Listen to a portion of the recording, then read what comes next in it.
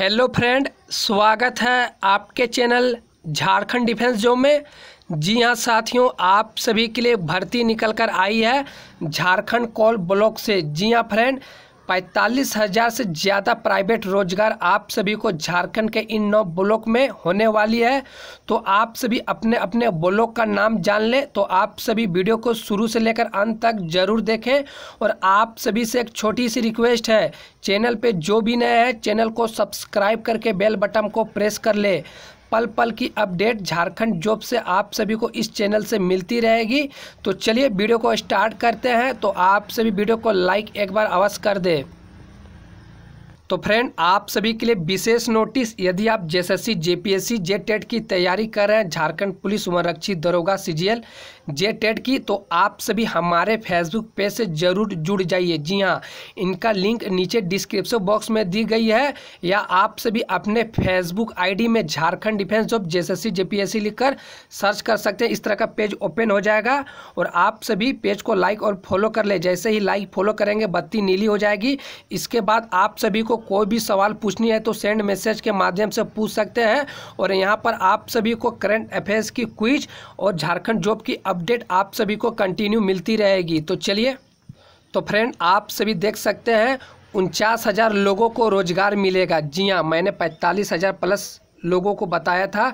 केंद्रीय कोयला मंत्रालय की ओर से कोल ब्लॉक की कॉमर्शियल माइनिंग की प्रक्रिया शुरू कर दी गई है। जी हाँ फ्रेंड आप सभी देखते हैं, प्रक्रिया शुरू कर दी गई है।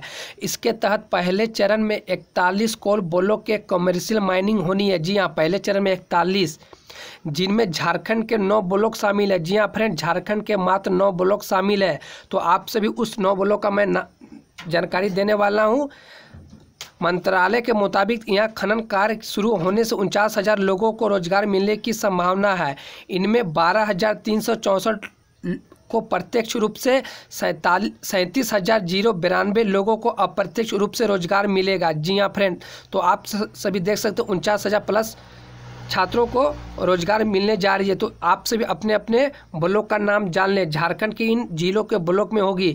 झारखंड राज्य के हजारीबाग ज़िले में गुंडुलपारा बोकारो में चूरी टाण तेलैया के लातेहार के अंतर्गत चकला, चित्रपुर, नॉर्थ धाड़ू और Seregarha central and eastern Palamu में राजहारा नॉर्थ, दुमका एवं पाकुड़ में उर्मा पहाड़ी टोला और गिरिडीह ज़िले में ब्रह्मडीहा का कोयला ब्लॉक कॉमर्शियल माइनिंग के लिए आवंटित किया गया है। जी हाँ फ्रेंड, आप सभी देख सकते हैं इन नौ इन नौ ब्लॉक का नाम। तो आप सभी के लिए यही एक अपडेट थी, फ्रेंड। वीडियो को अगर अच्छी लगी होगी तो वीडियो को लाइक करें और ज़्यादा से ज़्यादा इस वीडियो को शेयर करें अपने दोस्तों में। पल पल की अपडेट पाने के लिए हमारे चैनल को सब्सक्राइब करना बिल्कुल भी ना भूलें। हमारे चैनल के माध्यम से आप सभी को जो भी जानकारी दी जाती है, हंड्रेड परसेंट सटीक और ऑथेंटिक जानकारी दी जाती है। तो फ्रेंड्स, मिलते हैं अगले वीडियो में। तब तक के धन्यवाद। जय हिंद, जय भारत। वंदे मातरम।